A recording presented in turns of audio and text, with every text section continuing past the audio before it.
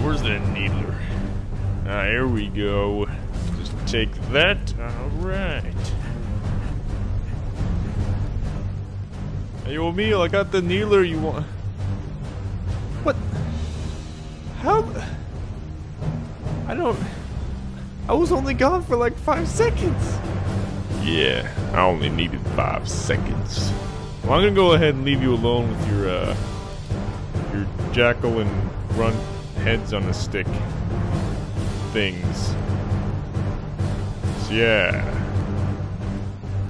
Peace out. Crazy guy.